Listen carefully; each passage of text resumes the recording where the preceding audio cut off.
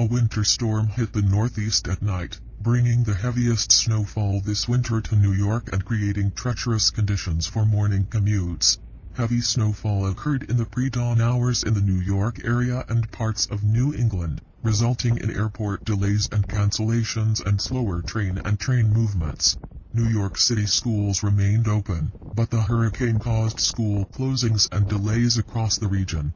At least 5 inches of snow covered the city and surrounding areas. By 7 a.m., Central Park in Manhattan had received 5.5 inches of snow and 8.4 inches at LaGuardia Airport in Queens, according to the National Weather Service.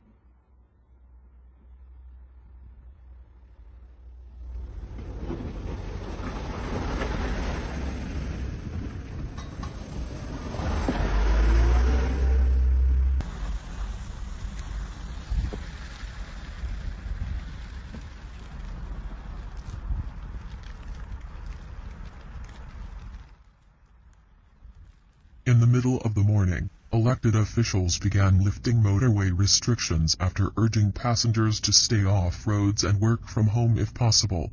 The Metropolitan Transportation Authority, which operates the New York subway, said its teams are working to keep trains and buses running.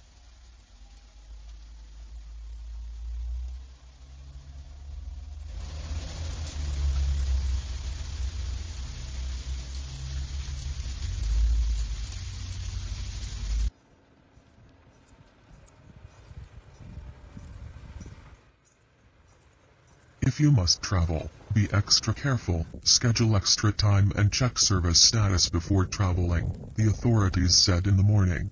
The Northern Metro, which is run by the authorities and serves the suburbs north of the city, was on Saturday due to the storm. At 8 a.m., the New York and New Jersey Ports Authority suspended all commuter train services. The agency later restored some of the services. The National Weather Service issued a pre-noon winter weather warning for the New York region, warning that roads would be slippery and urging drivers to be careful.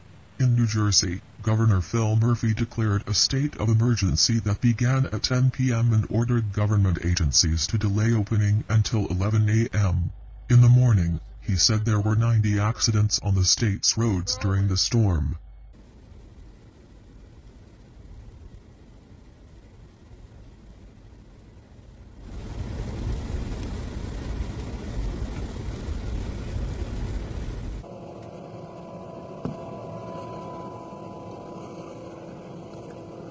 For the first time this winter, snowplows have cleared New York City's streets, according to spokesman Eric Adams, the city's new mayor. Earlier this week, the city was spared by a storm that caused up to a foot of snow to fall in parts of the mid-Atlantic states, including Atlantic City and other areas along the New Jersey coast.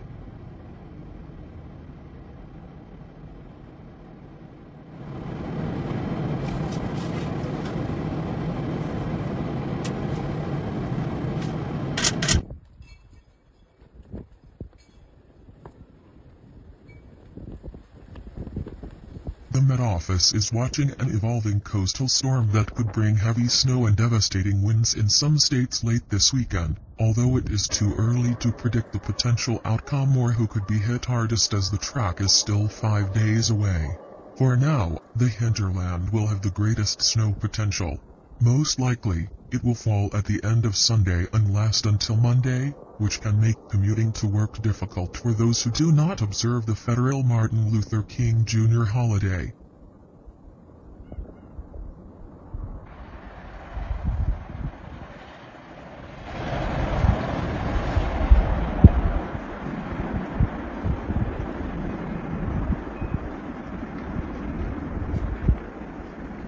Or sleet is also possible. Any of these can have a significant impact on Monday's travel.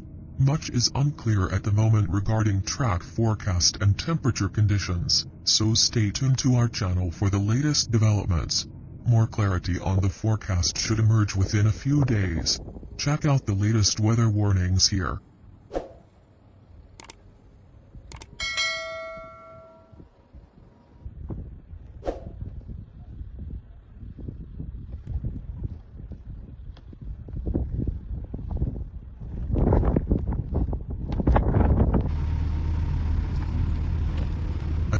Natural disaster struck the United States.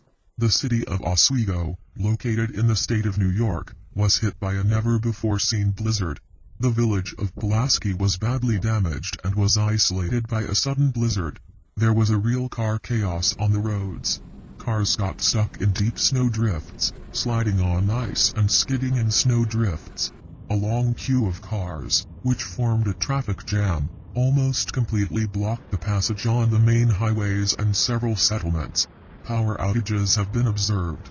During the day, about 2 meters of snow fell, which led to the closure of several main highways. There have been many road accidents. Information about the victims is being specified. Local authorities are urging residents to be extra careful, stay home and, if possible, refrain from long distance travel. Crazy. I'm not coming out here. It's a blizzard. Oh, get in here.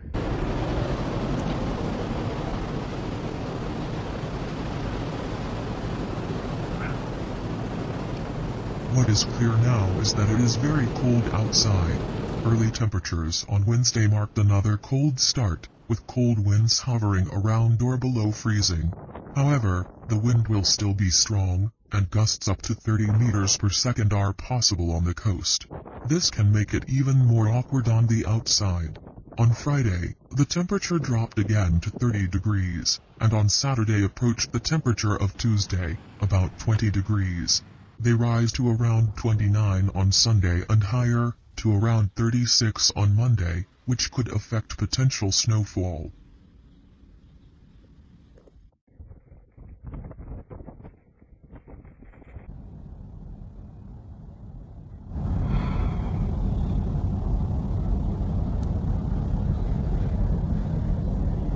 Expect below average temperatures in the second half of January with highs just above freezing for most of next week.